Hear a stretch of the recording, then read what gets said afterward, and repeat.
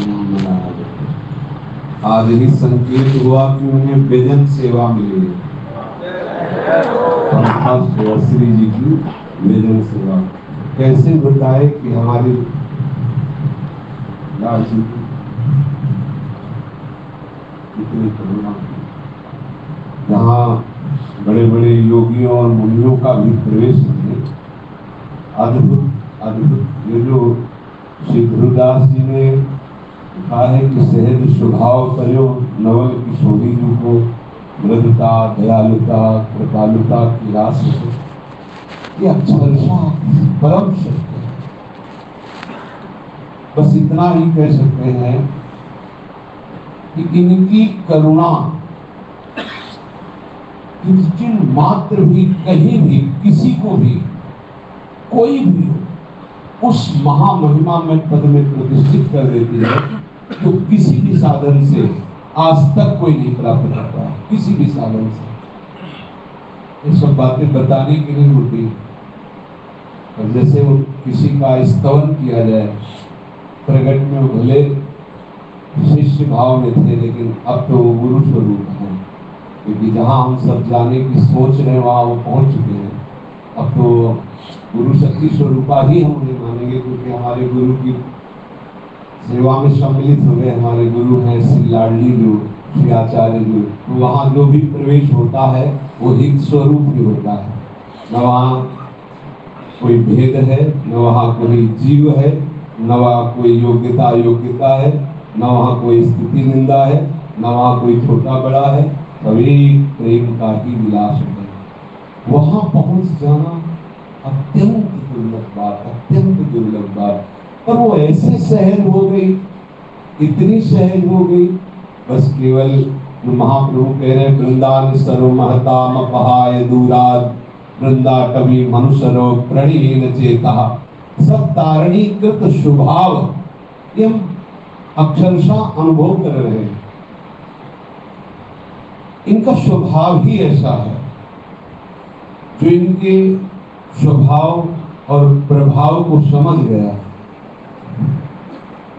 उसके हृदय में अनन्यता आ ही जाएगी, रचना पटो जो अनुरटो विरक्ति अनुभूतो में श्रवण फुटो जो अनुष्णो श्री राधा बहुत कृपालु श्री लाडली जब ये आज संकेत हुआ, कोई हमारा प्रश्न नहीं था, पर जो स्वयं उनके द्वारा निहाल विजन सेवा श्री राधा चरण जी को श्री की विजन सेवा का जो अद्भुत दुर्लभ गति, अद्भुत दुर्लभ गति और ये केवल शरणागति से मिली है, कोई योग्यता नहीं, कोई साधना नहीं और सर्व तो भावे अपने को समर्पित कर दिया, उसका परिणाम हम सब उसी पंक्ति में खड़े हम ललचाते हैं।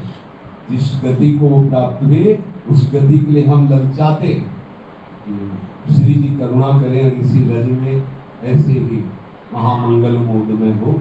ऐसी ही कोई अपनी चरण सेवा दे दे और सदा उनके समीप रहते हुए उनको बुला रहे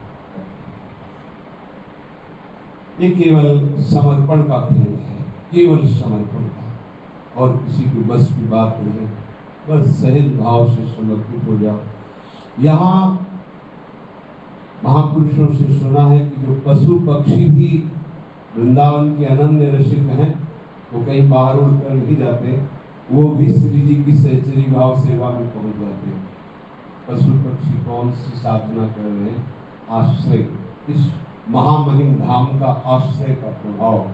तभी हमारे हृदय में समझ में आता है, जब हम महापुरुषों से ऋषिकों से मिलते हैं, उनके श्रीमुख से महिमा सुनते हैं तो उनके श्रीमुख में ऐसी आकर्षण शक्ति विराजमान है, क्योंकि राधा नाम जपते हैं। वो धाम के आसक्त चित्त है तो वो वाणी हमें इस महिमा से युक्त कर देती है। नहीं तो वो बहुत विकल्प है अपने जीवन से। कभी कभी कह उठते थे, इससे अच्छा है कि क्या आत्महत्या करने का?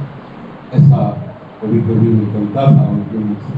तो नहीं इतने कष्ट में, ऐसी परिस्थिति में केवल एक बात उनको विजय करवा दी, श्री लाडली जी की शरण नागरीदास जन्म जीता जीत गए, उनका जन्म सार्थक हो गया।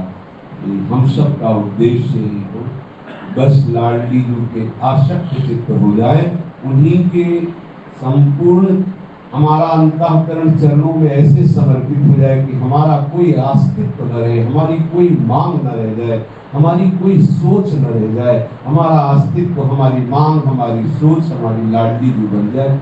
बस इसी से श्री जी की प्राप्ति हो जाएगी। इतना समय रह गया। है मरण धर्मा शरीर है, नाना प्रकार की आदि व्याधियों से ग्रसित है। बुद्धि मत लगाओ, चुपचाप चित्त होने के लिए तैयार रहो। वो चंचल चित्त आकर्षणी है। वो घसीट लेंगे आपके चित्त को और जो बड़े बड़े योगी मुनियों के लिए भी दुर्लभ है, देखना दुर्लभ है। वहाँ सेवा में पहुँचना तो असंभव। लेकिन देखना भी दुर्लभ है। वह अपने जैसे अधमों को हरिवंश प्रताप से सेवा मिल जाती भावपूर्वक लाडली जी के चरणों का दृढ़ आश्रय लीजिए। बहुत बड़ी बाजी हम जीत रहे हैं। बहुत बड़ी बाजी जीत जय जय राधा। जय जय।